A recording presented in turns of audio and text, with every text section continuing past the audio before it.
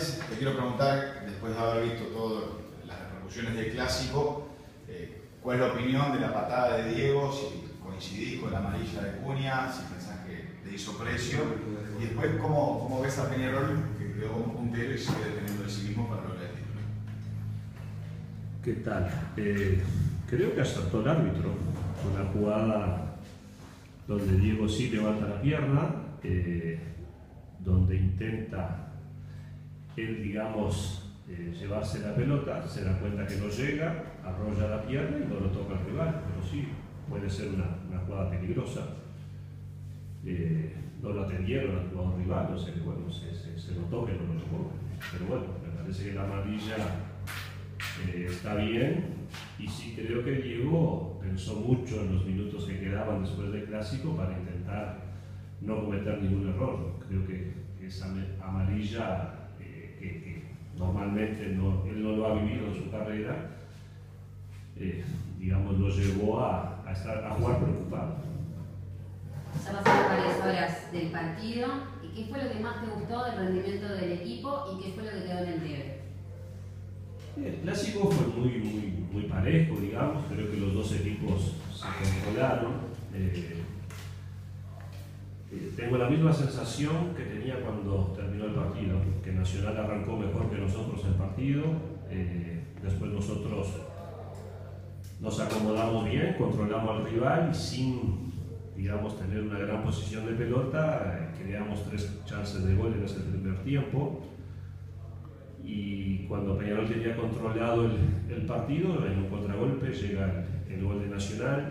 Después del gol de Nacional, en esos minutos fue nuestro, nuestro peor momento en el partido. Eh, no, nos, no reaccionamos rápido y Nacional tuvo una oportunidad con el palo para terminar 2 a 0 el primer tiempo. Por suerte eso no ocurrió. Y en un segundo tiempo donde fue muy parejo.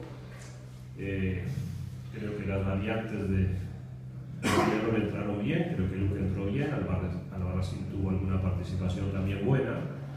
Y en una pelota quieta llegó el gol del empate nuestro, donde creo que el resultado final fue bastante justo con lo que se vio en la cancha. Por lo que se vio justamente en la cancha, lo más destacado quizás que se puede justamente rescatar de clásico es que se depende de sí mismo de cara al título.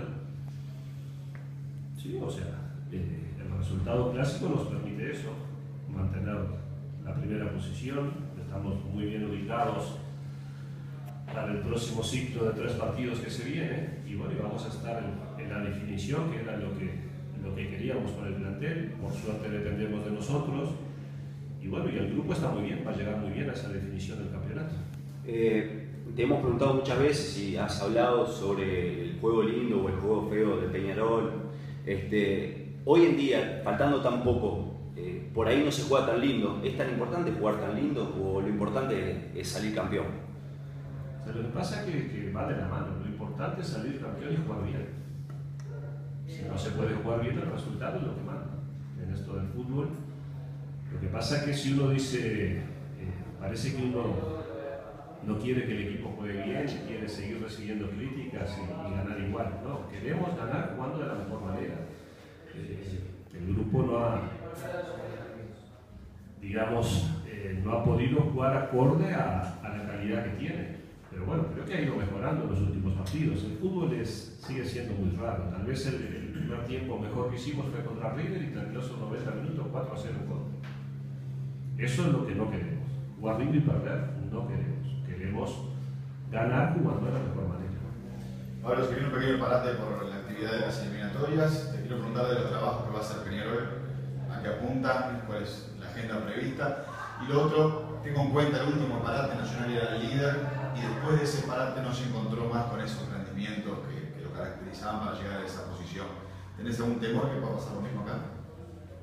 No, temor no es la palabra. Eh, nosotros, desde que inició el campeonato, sabíamos que había dos parates.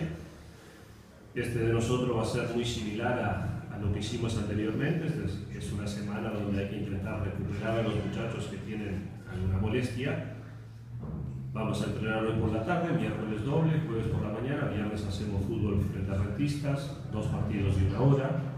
Tenemos el fin de semana libre y el día lunes empezamos a empezamos una semana normal, donde ya se empieza, digamos, a, mirar de cerca el fin de semana pensando en Wander. Y bueno, a partir de ahí vamos a, a finalizar esta apertura, pero bueno, tenemos la misma confianza de siempre en el plantel. Lo que queremos es intentar mantener esta primera posición que la tenemos hoy en día y ojalá los muchachos lo puedan lograr. Siempre seguimos dependiendo de, de la actuación de los futbolistas. Por suerte creo que tenemos un muy buen plantel y muchachos que son conscientes de, de lo que nos vamos a jugar. Ojalá podamos aprovechar la oportunidad. Ya pensando en lo que se viene, ¿qué partido te esperas ante Wanderers? Un rival que se caracteriza por tener mucho la pelota, pero que tal vez no viene en su mejor momento. Falta mucho tiempo, pero sí, me imagino un Wander muy prolijo, juega muy bien el fútbol, intenta salir jugando siempre. Tiene jugadores muy importantes, jugadores que están en racha, haciendo goles. Y bueno, nosotros, si bien tenemos tiempo y vamos a empezar la otra semana recién a preparar ese partido, sí, ya lo tenemos en mente. Lo, lo hemos visto jugar muchas veces a Wander y bueno, jugamos el, el partido presentación de Diego. Eh, lo conocemos mucho, muy bien trabajado, eh, somos amigos de, del técnico, de Gastón, o sea que bueno, nos conocemos de hace muchos años. Wander con, digamos que está siendo fiel a, a, la característica de toda su historia y bueno, y nosotros vamos a, a intentar hacer un buen partido, tenemos que aprovechar la oportunidad. Le quedan tres partidos este campeonato el nivel es muy parejo, los equipos grandes y, y, los que están en desarrollo han logrado puntos quizás en partidos de manera inesperada o han perdido también. Eh, ¿Hay alguien que tenga el fixture más fácil que otro entre Peñarol y Nacional? ¿O no, no existe no, eso? Eh, creo que no, porque ningún equipo ha tenido la regularidad como para decir eh, este partido es favorito tal equipo. Ha quedado demostrado que, que todos los partidos son muy parejos. Eh, sí estamos en el final del campeonato y si hay equipos que están mejor posicionados que otros de cara al título. Pero bueno, eh, uno se imagina un final de campeonato como hasta ahora, muy parejo, partidos muy difíciles, que de antemano nadie tiene asegurado nada, y bueno, nosotros nos vamos a preparar para eso, para partidos muy difíciles, pero solo vamos a pensar en Wander. Si bien es un ciclo de tres partidos para terminar el campeonato, a partir de la semana que viene nos vamos a, a mentalizar en cuenta. ¿Sentís que a lo largo del campeonato has encontrado un poco la identidad de juego que, que, pretendías cuando justamente comenzaba la pretemporada en Maldonado? El año pasado quizás, el campeonato pasado se te daba de que jugabas justamente con dos jugadores por afuera, tenía un panorama quizás claro a nivel táctico, Peñarol. ¿Sentís que en este campeonato lo encontraste de igual forma? No, en otro campeonato encontramos mucho mejor forma de jugar que en este. En este, lamentablemente, una de las ideas que que pasaba por la mente era muchos partidos jugar con tres centrales y nunca lo pudimos hacer. Eh, primero porque llegó la papela de Maquichen, después llegó la papela de Viera y la salida del, del, club. Y bueno, ya estábamos en la mitad del campeonato como para hacer mucha prueba. Seguimos jugando con línea de cuatro, que es lo que, lo que vamos a utilizar, me imagino, de aquí al final del campeonato. Pero antes del campeonato sí tenía en mente algunas cosas que no, no se llevaron a cabo.